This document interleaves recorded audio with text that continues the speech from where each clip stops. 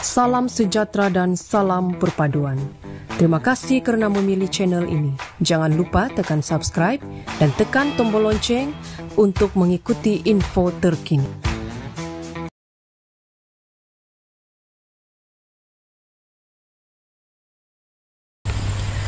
Penyanyi Kai Bahar merampas semula trofi penyanyi lelaki popular pada malam anugerah bintang popular berita harian ke-35. Kejayaan itu menyaksikan Kai atau nama sebenarnya Muhammad Khairul Baharudin mengetepikan Hakim Rusli yang memenangi kategori penyanyi lelaki popular pada dua edisi sebelum ini. Selain Hakim, Kai menewaskan tiga calon lain iaitu Amir Masdi, Hel Huzaini dan Nakyu. Saya sebenarnya bangga dengan peminat kerana ini semua adalah kerja keras mereka. Sokongan mereka memberi saya peluang memenangi trofi ini. Ini adalah disebabkan undian peminat yang sentiasa menyokong pada setiap pencalonan saya dalam anugerah ini.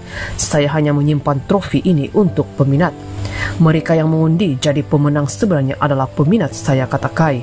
Sebelum ini Kai mencipta nama apabila memenangi kategori rebutan ramai vokalis lelaki itu pada tiga edisi berturut-turut iaitu pada Anugerah Bintang Popular Berita Harian yang ke-30, ke-31 dan ke-32. Bukan saja cermelang secara solo, Kai pernah meraih kemenangan dalam kategori artis berkumpulan popular bersama Siti Nordiana menerusi lagu Satukan Rasa dan sebelum mengulanginya bersama Aina Abdul pada edisi ke-34 menerusi lagu Nafas Cinta. Tidak hanya cermelang di tanah air, Kai membuktikan keupayaan di peringkat lebih tinggi apabila memenangi kategori artis paling popular dan lagu paling popular iaitu Bayang pada Anugerah Planet Music pada 2017.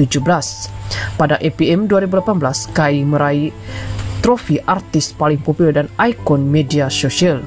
Kategori penyanyi lelaki popular pada edisi ke-35 ditaja oleh Velera Skin, Kai menerima trofi dan kotak eksklusif Velera Skin.